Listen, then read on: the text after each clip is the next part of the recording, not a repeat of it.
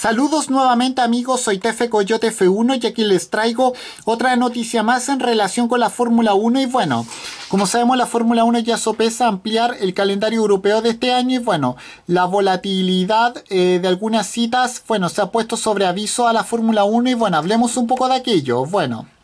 Bueno, la cancelación del Gran Premio Japón del MotoGP ha pillado con el pie cambiado a la misma Fórmula 1 y bueno, aunque es una decisión que en principio no tiene, no tiene relevancia para la Fórmula 1 ni que ni va ni le va le viene al MotoGP es un aviso bien claro.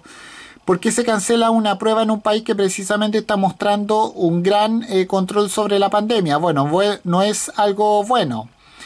Bueno, si la preocupación con Japón ni que decir tiene de otros lugares que ni de lejos llegan a los estándares del país del sol naciente. Bueno, bueno, aunque la Fórmula 1 se ha asegurado la temporada con un buen calendario europeo, la intención es disputar un gran número de pruebas con, con las que mitigar la crisis económica que también está dentro de la que también dentro de la Fórmula 1 está causando el coronavirus o COVID-19.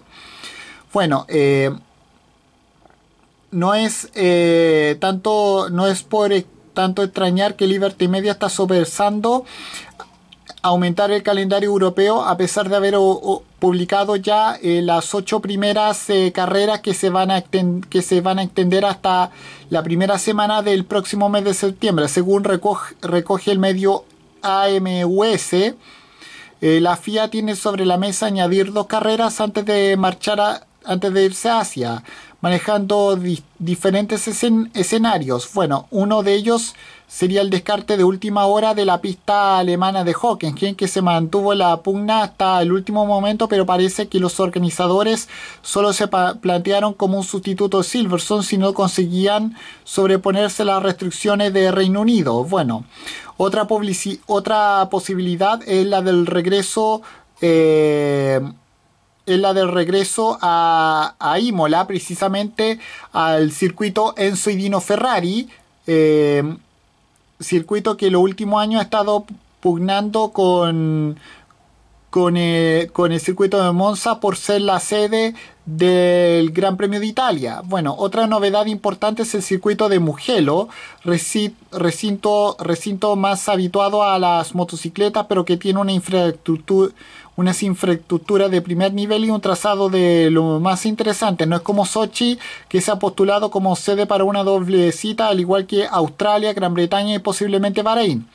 Bueno, se ha caído de la, se ha caído de la ecuación al, eh, bueno, porque como novedades están Mugello, Imola o Hockenheim. Se ha caído de la ecuación y bueno, al menos por estas informaciones, un trazado que sonó mucho al principio de, la cuarentena es eh, la pista la pista de Portimao en el albergue portugués, bueno, tampoco hay referencia al circuito de Jerez de la Frontera, posiblemente uno de los grandes atractivos de la pista andaluz o, o no es el propio circuito en sí. Bueno, sino las posibilidades del mismo recinto que sí la posibilidad de público quedaría neutralizada. Bueno, la última palabra en manos tanto de la FIA como de Liberty Media, eh, que ya se han tomado con calma la publicación del calendario inicial, eh, apenas un mes de regreso a la competición. Y con esto me despido, adiós, que me fuera, chao.